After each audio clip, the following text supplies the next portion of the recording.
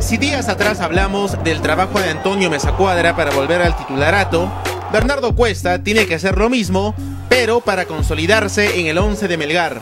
Siempre un delantero necesita de su gole para la confianza, para bien del equipo principalmente. Así que bueno, por ahora en el momento las cosas están saliendo. El argentino sabe bien que con su rendimiento el puesto está más peleado. Sí, sí, fue una... La llegada de los refuerzos fue un...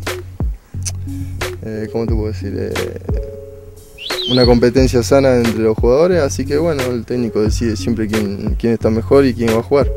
Sin embargo, reconoce que forma parte de un colectivo que va por buen camino. Vine con la idea de pelear, de pelear el puesto, de tratar de ganármelo y bueno, gracias a los partidos se están dando las cosas.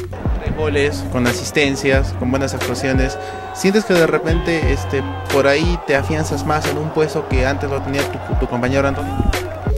Sí, sí, uno tras partido siempre trata de hacerlo mejor para, para seguir en el equipo, pero bueno, como te dije, la competencia es sana, hay muchos buenos jugadores, así que esperemos seguir de esta manera, para bien del grupo. Recordemos que Cuesta ha metido tres goles en dos partidos, dos ante Sport Boys y uno contra César Vallejo. Falta mucho todavía, hay que seguir trabajando, todavía no se por ningún equipo, así que a través de los días veremos qué pasa.